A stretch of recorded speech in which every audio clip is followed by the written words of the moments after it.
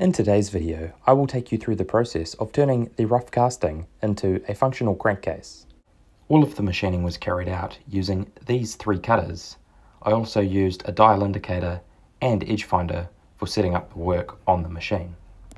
I also had a whole bunch of engine parts from a Lifan engine lying around, which was quite handy as I needed to use these to test fit to the crankcase to ensure everything was where it should be.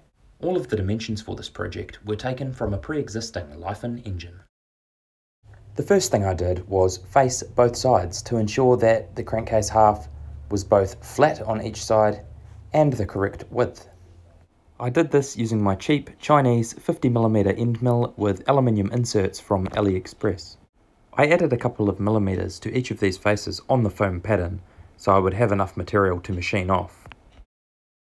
As you can see, the face mill left an excellent finish, and there is no porosity to be found whatsoever throughout the casting.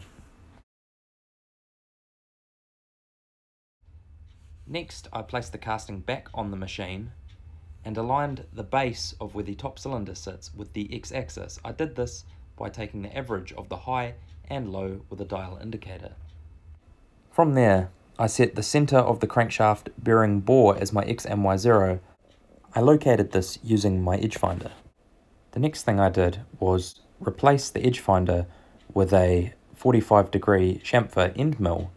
I used this to spot drill all of the hole locations around the perimeter of the crankcase.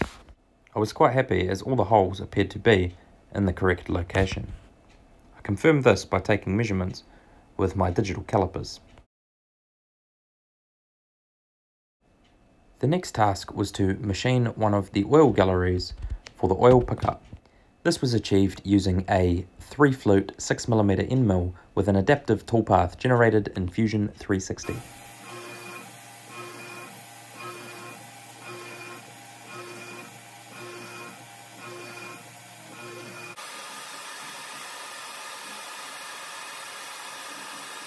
And here you can see I'm definitely getting my money's worth out of the shop vac. And here's a quick glimpse of the finished oil gallery. The plan was to roughly interpolate all of the holes, leaving 1mm of extra stock to come through and clean up accurately with a boring head. With that 1mm of stock to leave, I could also come through and check all of the bore centres to make sure they were accurately spaced.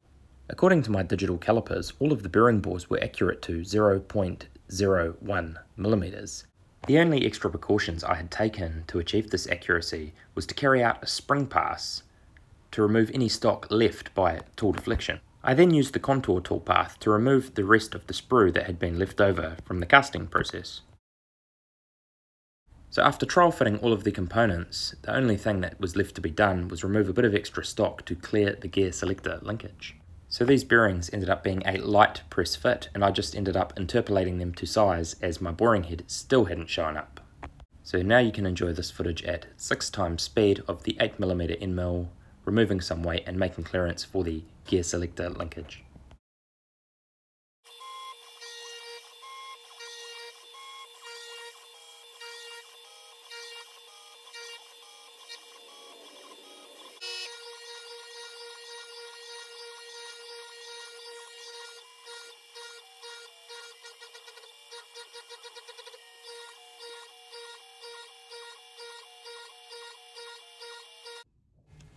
Here I have the shifter linkage installed, testing to make sure it has enough clearance to operate and function correctly.